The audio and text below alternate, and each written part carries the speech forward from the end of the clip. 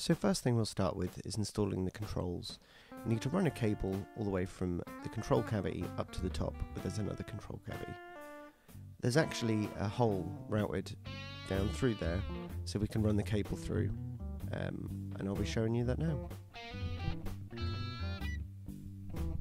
So inside the back of the control cavity, we have the four spaces for the potentiometers and two gaps. We're going to be running these three cables um, through the back cap here.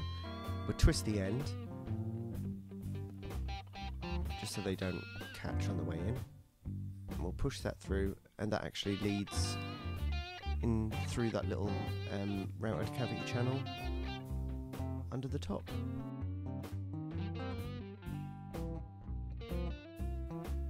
Bunched the cables up so you can see them here, but they've run all the way through that routed cavity, and the last final push, they'll come out through the end. So just push the cable through, and it'll come out at the end here, which is where we'll wire the switch on in the next part of the video. Yeah, just pull the cables out because you know we'll need to wire those on. And here we are at the switch. So the first bit of soldering. We've tinned the ends, putting a bit of solder on the end. So the first one to go on, all the bare wires go on the back lug there. It's the earth lug. That's nicely stuck. To dry. So the black one is actually going to be going in the middle. Um, so we'll put the black one on. This one goes to the jack.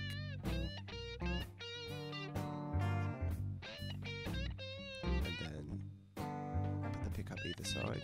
So that's the blue cable. Links the pickup to the switch. And then the red cable. Put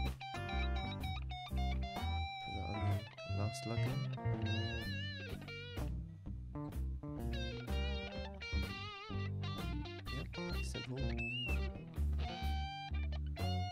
That's the switch completed.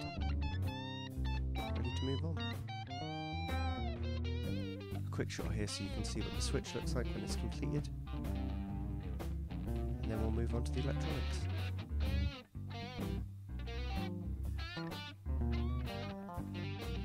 So this is the other end of the black cable that's coming from the middle lug of the switch.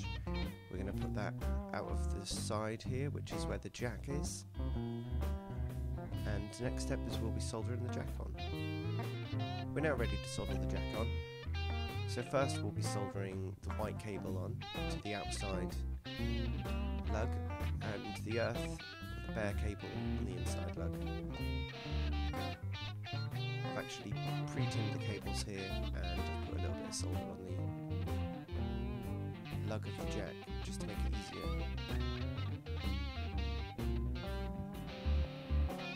But once that's connected, we can go and put the green earth cable in.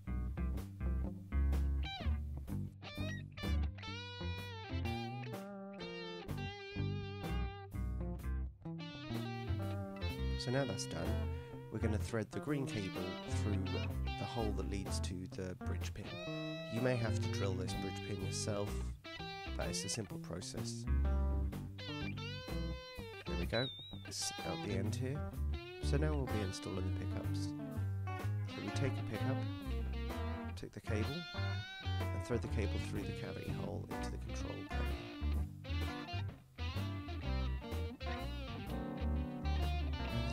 For the next pickup. Just following that initial cavity. And then push that through. Travels down there, out through the hole. And then once these are in place, we can wire the electronics in.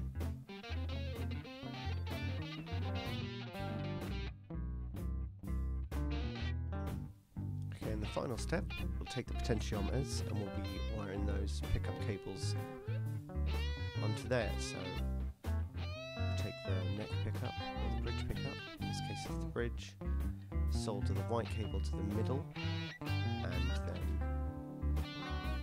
solder the bare cable to the back of the potentiometer to earth it. The cables have been pre-tinned, so that means basically putting a little bit of solder on the end of the cable, so it helps it adhere to other solder. And then we'll repeat that with the blue pickup cable. The volume pots or potentiometers, they don't have the green capacitors on the back. The green capacitor means that this uh, solder your pickups onto your tone controls.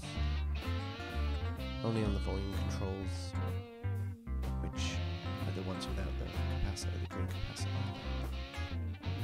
But the blue one is the same, middle lug, and then solder onto the back. And find a nice place where it's going to stick and not be in contact with any of the other lugs or wires, bare exposed wires, which might, might cause a short. And then once this is soldered on, install the potentiometers and play away.